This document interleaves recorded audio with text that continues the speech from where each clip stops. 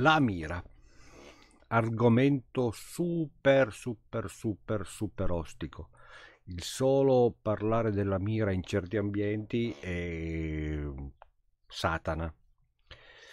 Però eh, effettivamente la mira fa parte della nostra sequenza di tiro, anzi diremo e vedremo che ne occupa una parte considerevole della sequenza anche se poi la mira vera e propria è una fase piccolissima.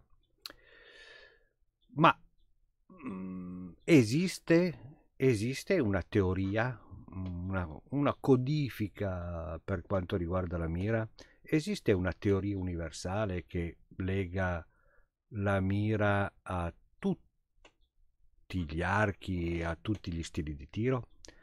Questa è, un, è, un'idea che mi è venuta in mente tempo fa leggendo un libro di Larry Wise. E effettivamente tutto quello che, che dice Larry Wise lo possiamo considerare una teoria universale.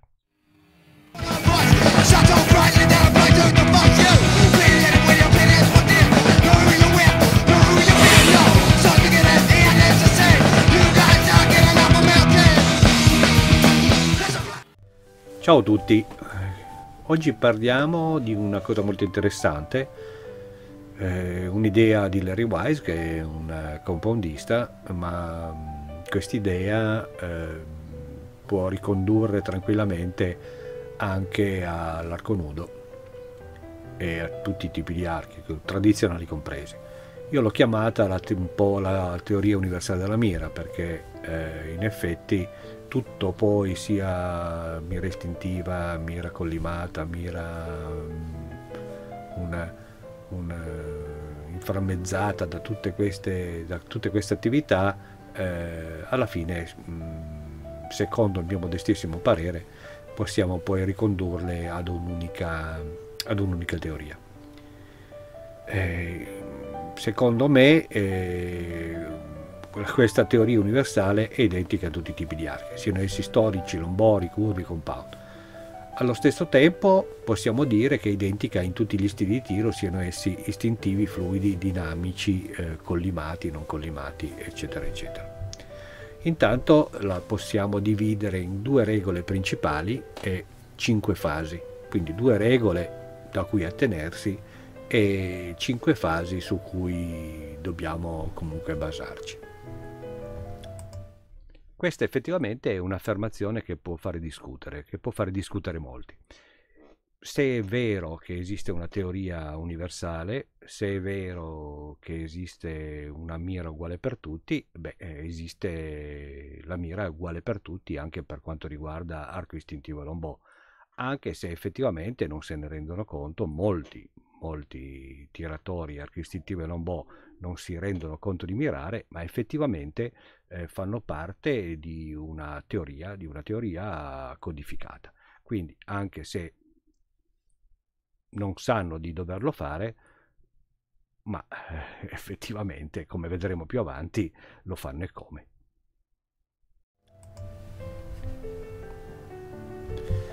Allora, la prima regola è tutti pensiamo sempre che sia così, ma non lo mettiamo mai in pratica. La prima regola è che la mira deve essere eseguita più che con la mente, con la mente più che con i nostri occhi, quindi deve essere una cosa un pochettino inconscia. Dopodiché, eh, una volta aperto l'arco, qualunque esso sia, gli occhi devono solo osservare il punto da colpire. È la mente che in modo subconscio farà spostare l'arco in modo opportuno per colpire il centro del bersaglio. Eh, ehm, Vediamo poi, adesso vediamo la teoria, poi vedremo anche come mettere in pratica tutte queste, tutte queste nozioni. Intanto, la prima regola, come ad esempio nel compound, è del tutto normale che il pin di riferimento si muova all'interno della zona gialla. Non ci si deve sforzare di spostare consciamente il pin del centro. Questa è un po' la regola eh, che Larry Wise ha dato a tutti i compoundisti alcuni la seguono, alcuni non la seguono, però intanto è un'idea molto ma molto ma molto interessante. Dobbiamo mirare con la mente senza comandare consciamente il movimento dell'arco per arrivare alla mira. Questo permetterà, tra l'altro, di evitare l'anticipazione del tiro e tutti gli errori provocati da un'azione non coordinata. E questo ah, ah, ah, ci viene utilissimo per quanto riguarda l'arco nudo. La seconda regola. La seconda regola, molto semplice, ci dice che la mira non deve essere considerata il fine del tiro, ma solo una tappa di tutta la sequenza. Quindi non è che tutto il nostro tiro deve essere sviluppato affinché siamo pronti a rilasciare la freccia quando la punta della freccia è nel giallo. E, e questo è il dramma, il dramma straordinario di tutti, eh, di tutti gli archinudisti. Effettivamente, effettivamente così. L'anticamera del target panic è proprio questa collimazione, questa voler eh, mettere insieme i due punti a tutti i costi e soprattutto per quanto riguarda l'arco nudo. Quindi effettivamente eh, nella teoria che è stata oltretutto sviluppata eh, per il compound eh, viene comodissima se applicata anche all'arco nudo perché evita proprio tutti i problemi di anticipazione. Mm, oggi parliamo della teoria, ma nel, nel prossimo capitolo, quando parleremo effettivamente della pratica, cioè di cosa effettivamente succede, di cosa effettivamente eh, occorre fare per avere un circolo virtuoso per quanto riguarda la mira, eh, lo vedremo più avanti. Oggi eh, dobbiamo capire, dobbiamo considerare come la mira sia all'interno di tutta la sequenza di tiro. La mira è all'interno di tutta la sequenza di tiro, comunque di buona parte anche se poi la fase, come vedremo, la fase di più concentrata, la fase di concentrazione sarà eh, minima, sarà um, di una piccolissima parte della nostra sequenza. Però effettivamente è mm, una teoria che permette alla mira di essere sdoppiata, tutto e poco, nello stesso identico tempo. Vediamo adesso le cinque fasi. Tutto il percorso che porterà la mira è diviso in cinque fasi, che deve essere compreso in un unico spazio esecutivo che rispetterà la sua ripetibilità e il suo ritmo ovviamente. Le cinque fasi non saranno solo divise da tempi esecutivi e passaggi tecnici, ma saranno anche separate da diversi stati emotivi e psicologici. È logico questo, no? Le cinque fasi avranno anche al loro interno eh, i pensieri e le tipologie emotive che scaturiscono dal, dalla nostra attività mentale. Prima di spiegare effettivamente la teoria, vediamo cosa effettivamente capita. Cosa effettivamente capita nella, nella sequenza di tiro, di come la mira occupa eh, buona parte della sequenza di tiro di cosa succede, poi spiegheremo effettivamente dal punto di vista teorico eh, cosa, come, come, possiamo codificarlo e come possiamo stabilire effettivamente i concetti e i, conten- e i contenuti della mira. Ecco, vediamo, cominciamo col guardare, ecco, la prima, la prima fase, quella di attenzione, guardare e vedere. Dopodiché, eh, dopo questa fase mh, preliminare, mh, ci saranno altri contenuti molto importanti della sequenza di tiro, come il self-talking, l'imagery, la visualizzazione e, e, altri, e altri fattori.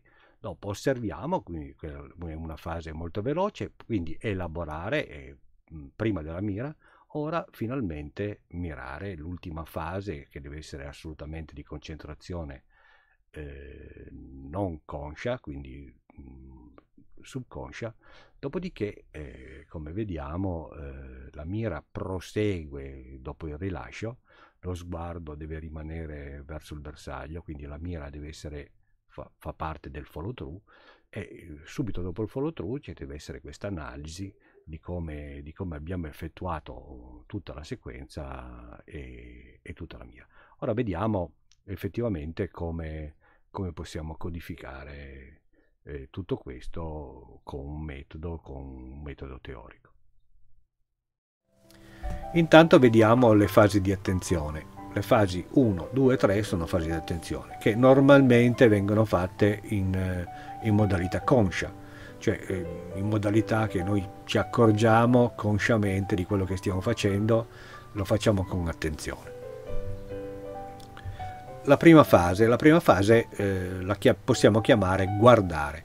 Mentre alziamo l'arco iniziamo a indirizzare l'attenzione visiva. Quindi questo è molto importante, agganciamo il bersaglio e da questo momento parte la nostra azione di mira, già da quando alziamo l'arco, con la sua prima fase.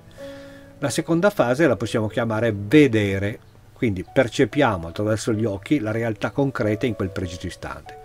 Questa fase deve essere immediata e non può essere prolungata. Diciamo il classico colpo d'occhio che ci fa capire come ci dobbiamo comportare e come dobbiamo indirizzare poi la freccia al bersaglio. La terza, la terza fase, anche questa importantissima, è osservare, cioè dalla prima alla seconda fase, quindi agganciare il bersaglio, colpo d'occhio, interiorizziamo tutto l'insieme. Questa fase sarà quella che dovrà cedere la mira alla fase successiva. Queste tre fasi dovranno essere fatte in totale gestione conscia. Ora passiamo alla fase 4, la fase 4 e la fase 5, che sono le fasi di concentrazione. Siamo in ancoraggio. Siamo in ancoraggio, non dobbiamo più porre attenzione alla mira. Sarà il nostro subconscio a fare tutto in modo automatico se l'abbiamo allenato in modo, in modo opportuno. La quarta fase la possiamo chiamare elaborare, quindi sottoporre ad esame, lavoro che fa il nostro cervello e non i nostri occhi, ovviamente, il nostro cervello, quindi il nostro subconscio, questa è una fase molto delicata, della fase che attiva il subconscio e che chiude con l'attenzione per passare a uno stato di concentrazione assoluta. Quindi qua siamo nello stato di concentrazione. Quinta fase, finalmente arriviamo al mirare. Siamo concentrati solo sul punto da colpire, compito che lasciamo fare esclusivamente alla parte subconscia del cervello. Il particolare deve prevalere il più possibile a fuoco, pur nel contesto dell'intera visione anche se sfocata. Nel nostro caso, nel caso del, dell'arco nudo, è utilissimo concentrarsi e, mettersi, e mettere a fuoco solo il, il, centro da colpire. Più è piccolo meglio è, un puntino nero e ci viene oltretutto utilissimo nel 3D. Quindi dobbiamo lasciare la punta della freccia sfocata a lato dove ci piace, sempre nello stesso punto, cerchiamo sempre di tenerla sullo stesso, anche se non sarà mai sempre nello stesso punto, però la dobbiamo tenere sfocata e dobbiamo concentrarci solo sul punto da colpire. Il feedback di ritorno non sarà il solo vedere l'impatto della freccia, ma è la lettura posteriore di tutto quello che è successo e il nostro cervello ha elaborato in fase di ritorno. Questa fase non è da confondere col follow through avvenuto poco prima, quindi è, logico, è logico che la mira dovrà proseguire, non solo dovrà proseguire dal punto di vista fisico, quindi mantenere la posizione che quello sarà il follow through, ma dovrà essere anche una, un'analisi di come abbiamo tenuto tutte queste cinque fasi e questo sarà importantissimo. Grazie, spero che vi sia utile e alla prossima.